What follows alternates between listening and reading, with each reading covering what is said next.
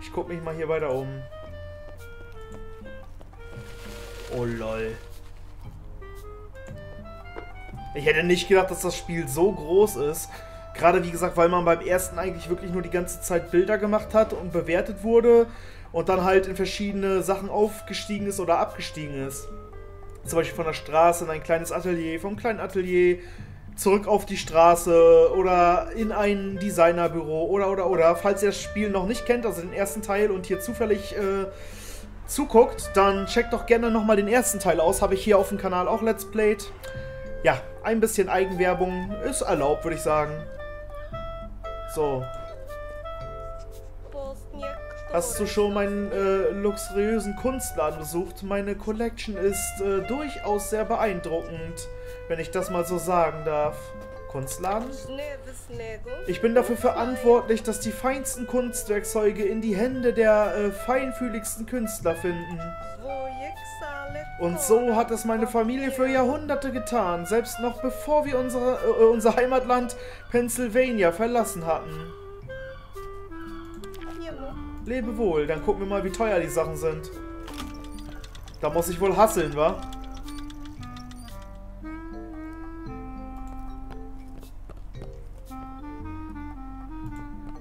Okay.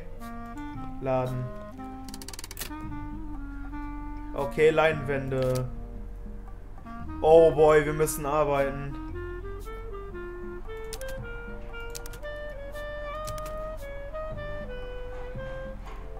Ich meine, wir können uns noch eine Sache leisten, aber...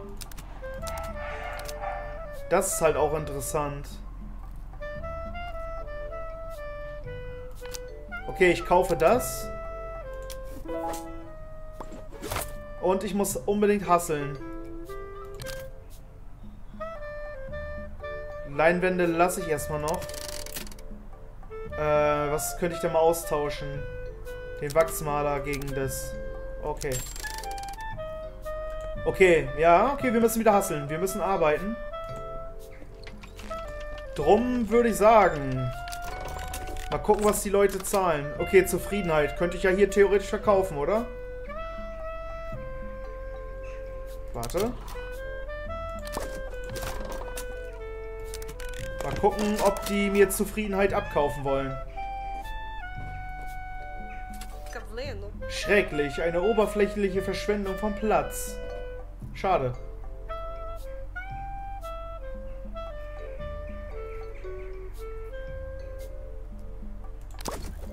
Okay, dann gucke ich mich hier erstmal weiter um und ich merke schon, wir müssen hier noch weiter malochen. Wir brauchen noch Geld. Oh mein Gott, ist das Spiel groß. Sehr viel größer als erwartet. Also wirklich sehr viel größer als erwartet. Kann ich durch den Schlamm laufen? Ja, ich kann. Lustige Taxis. Oder Taxen.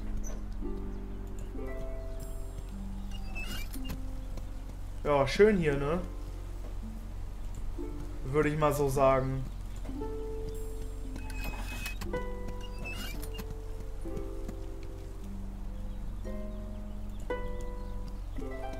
Theoretisch sollte er da jetzt alleine hinlaufen.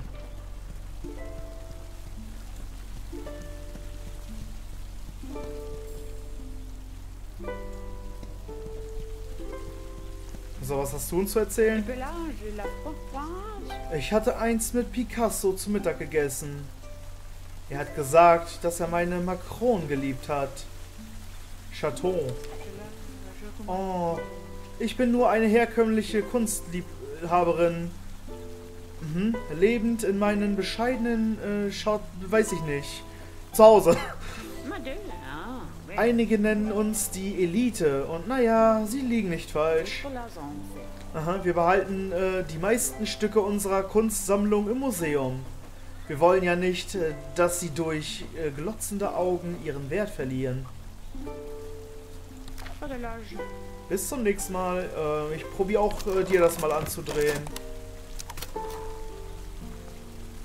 Vielleicht ist ja Interesse da.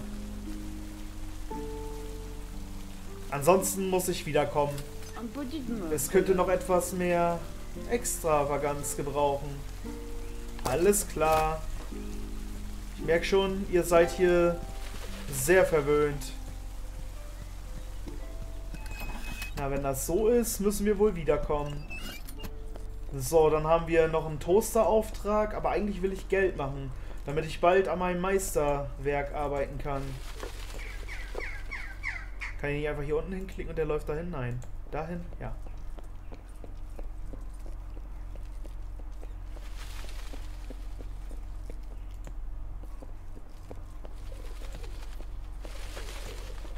Ja, da machen wir mal das Toaster. Ah ja, stimmt, da war ja was. Du wolltest ja auch noch mit uns quatschen. Ja, lol, was gibt's, lol? Irgendwas stimmt äh, ganz und gar nicht mit Hope. Hope? Ich weiß, dass du ihr versucht hast zu helfen, aber es hat nicht funktioniert. Gestern, da habe ich es gesehen. Es war beinahe, als wäre äh, die Seite ihres Mundes kurz nach oben gezuckt. Und manchmal fängt sie sogar an zu singen. Um Gottes Willen sie ist ein Nihilist und ich mag sie oder so. Ich werde dich mit ein paar Leinwänden belohnen, die ich gefunden habe, wenn du wenn du ihr ein super nihilistisches Bild zeichnest. Eins, was sie daran erinnert, was wirklich wichtig ist. Eins, was sie wieder zu Hope werden lässt. Ja. Okay, super. Je düsterer, desto besser. Bring es zu Hope, sobald du fertig bist, und wir werden sehen, ob es funktioniert. Ja, okay. Dann opfer ich dieses billige Papier dafür. Und mache dieses billige Papier schwarz. So. Probiere dann diesen Pencil aus. Okay, man kann auf jeden Fall fein damit zeichnen, habe ich das Gefühl. Oder auch nicht. Das täuscht. Michelangelos Silberstift.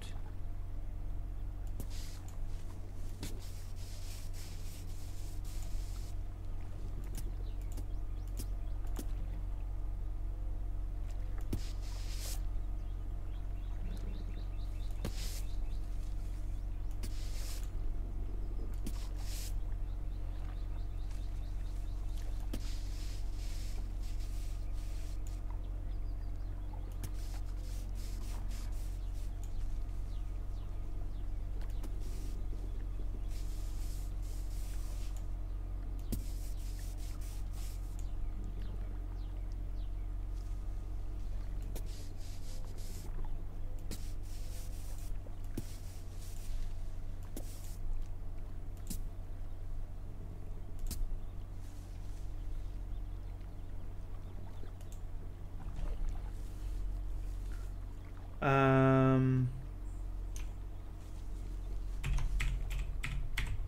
ich habe doch keine Ahnung. So. Ja, dann würde ich sagen, gehe ich mit dieser komischen abstrakten Kunst auf billigstem Papier Richtung Hope. Irgendwie, wie gesagt, irgendwie interessant, dass das Spiel halt quasi Quests und so hat. Andererseits mochte ich aber auch dieses Simple vom ersten Teil, aber natürlich kannst du das bei dem Spiel jetzt nicht mehr unbedingt bringen. Äh, weil du brauchst ja schon Verkaufsargumente. Es gefällt mir aber tatsächlich. Okay, hier. Was stimmt nicht äh, mit dir, äh, mit mir, meine ich. So, hier. Hey, Schwarz. Das ist so düster. Ich fühle ein nihilistisches Nichts. Ich glaube, ich bin vielleicht endlich von meiner Krankheit befreit. Okay, aber eigentlich ist es mir ziemlich egal. Geh und sag lol, danke oder so. Es spielt keine Rolle. Kann ich eigentlich auch selber Bilder verbrennen? Nicht. Okay. Gut. Dann wandern wir mal wieder.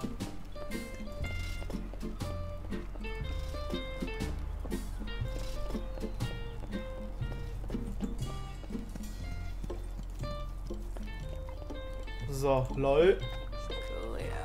Warum kümmert mich was? Warum kümmere ich mich überhaupt darum? Hope. Was passiert? Ich meine, was auch immer und so, aber yeah, was? Es hat geklappt. Oh, super. Sie wird bald äh, schon wieder ihr altes Ich sein. Plötzlich Freunde... Was? Ach so, äh, ich, ich glaube, ich verlese mich tatsächlich hier in diesem Fall so oft, weil das so komisch schräg ist. Irgendwie kommt mein, mein, mein Kopf im Zusammenspiel mit den Augen nicht klar darauf. Plötzliche Freude kann selbst den hingebungsvollsten Nihilisten erschlagen. Das ist mir auch äh, einmal passiert und äh, was auch immer. Also, die an Belohnung, hier sind die drei Leinwände, von denen ich dir erzählt habe. Wenn dich wer fragt, wo du die her hast, äh, nicht von mir. So. Gut. Jetzt würde ich dann gerne noch eventuell mal keine Quest bekommen. Da wir noch eine Quest offen haben. Die ich jetzt gerade mal machen würde. Diese Toast-Designer-Geschichte hier. So. Oder Schredder war es, meinetwegen. So. Da kommt natürlich wieder mein Lieblingswerkzeug zum Einsatz.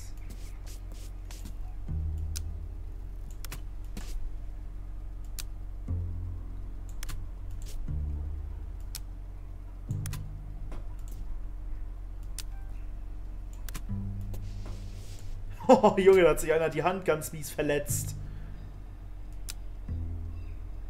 Darum das Design. Darum ist es das Design.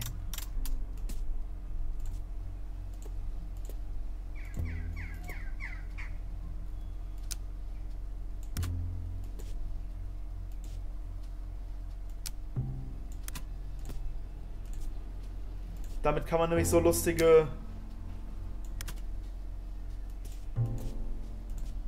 so lustige Schockwerbung machen. Was für Schredder? Fleischer 3000. Oh.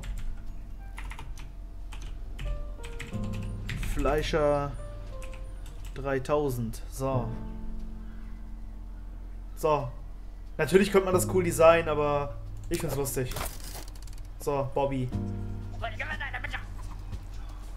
Okay. Wie geht's mit dem Papierschredder-Design voran? Zeigt Design. Ein wenig mutiger als erwartet. Vielleicht ist das ja gut. Gute Arbeit, mein Freund. Ich habe eine Werbetafel vorbereitet für äh, riesige Werbung. Jetzt musst du da äh, nur noch Schwung reinbringen. Ich werde es gleich hier zusammen mit deiner Bezahlung aufhängen. Bis du mit dem Design fertig bist. Aha. Die Werbetafel steht direkt neben Belforts äh, Investmenthaus. Geh und bring den Schwung gleich mit.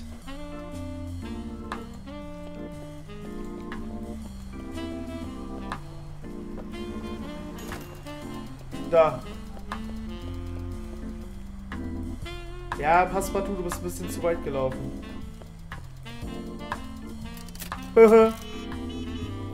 Heavy Duty Schredder.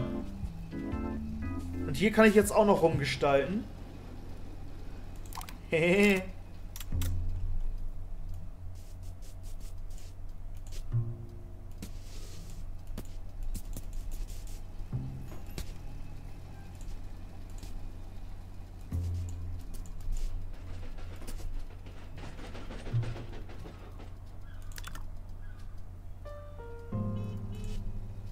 nicht am Design selbst.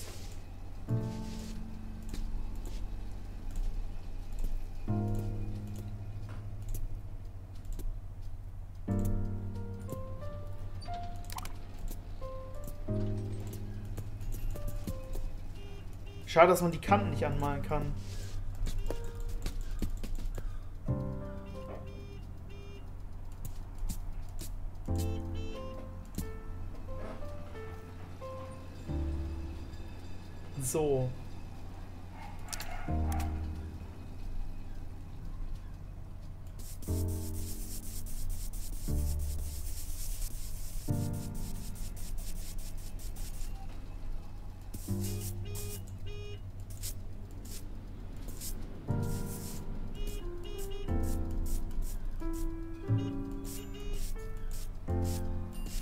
So, das ist das blutige Etwas. Fertig.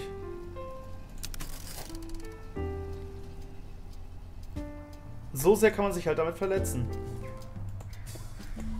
So, dann gehen wir nochmal zurück. So. Das Poster, ist es fertig? Denkst du, das wird sich verkaufen? Es ist vollbracht. Ein interessanter Bruch von der herkömmlichen Werbung. Riskant, aber interessant. Wie versprochen, 750 Euro. Angenehm mit dir Geschäfte zu machen. So, gut. Theoretisch. Wollt ihr irgendwas von uns? Nein. Nein, das wollte ich doch gar nicht. Nein! Oh. Du aus Versehen da drauf kommst, wenn du laufen möchtest. Also theoretisch haben wir jetzt keine offene Quest mehr, richtig? Also muss ich jetzt erstmal wieder Geld verdienen. Mein Meisterstück kann ich jetzt noch nicht so anfertigen. Das funktioniert nicht. Also... Ja, dann können wir die Mir-Egal-Flagge ja schon mal verkaufen. Und auch Zufriedenheit. So. Dann holen wir die Skizze raus. Ich will es. Ach, das Bild. Ja, okay. Wenigstens weißt du unsere Flagge zu schätzen. Aber du musst ja ganz schön viel Taschengeld kriegen. Holy moly. Okay. Oh, oui, oui. Exakt und natürlich, wie eine gute Mahlzeit. Nö. Dafür kriegst du das Bild aber leider nicht. Tut mir leid.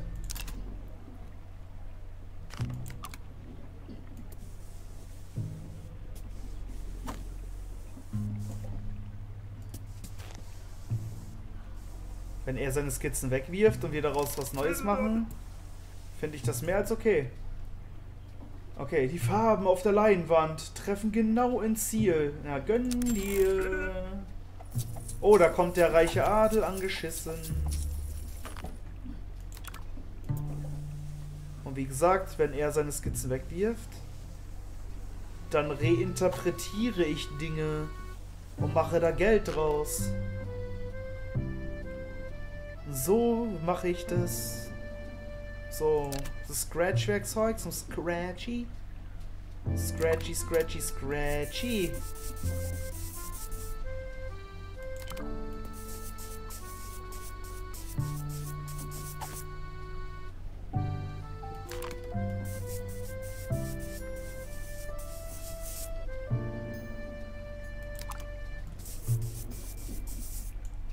So.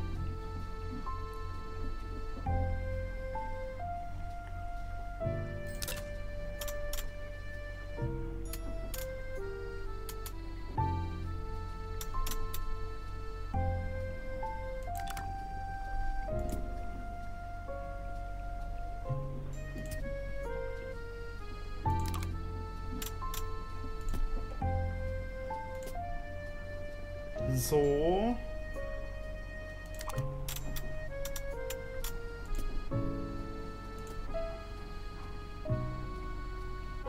Einfach schön.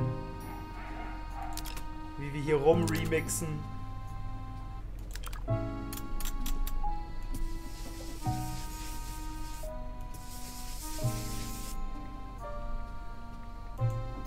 Skizze.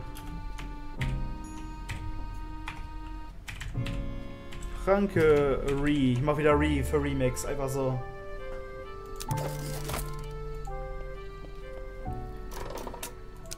So. Schön.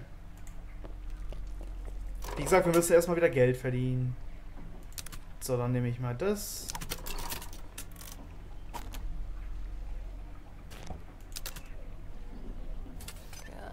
Richtig frustrierend, äh, nichtssagend.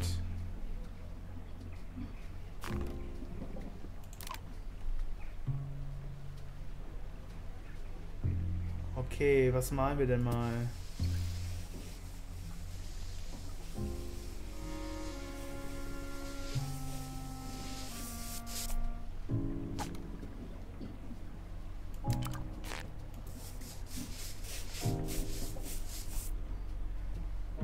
So. Ich liebe. Ich bevorzuge etwas, das ein wenig mehr ruhig und cool ist. Ruhiger und cooler geht ja fast schon gar nicht mehr, du. Das ist schon der Shit. Der absolute Shit.